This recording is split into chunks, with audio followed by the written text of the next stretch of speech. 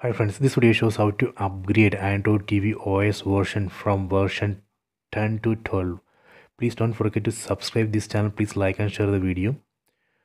First go to settings. Select the settings icon. Then go to device preferences.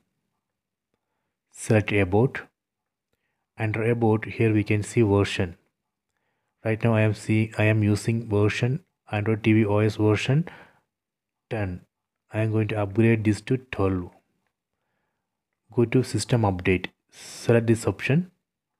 Now it's checking for update. Please wait.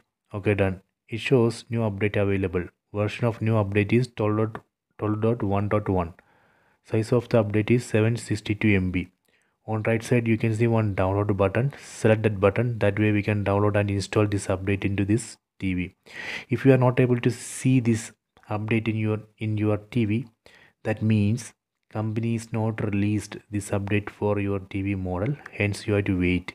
You have to keep checking this.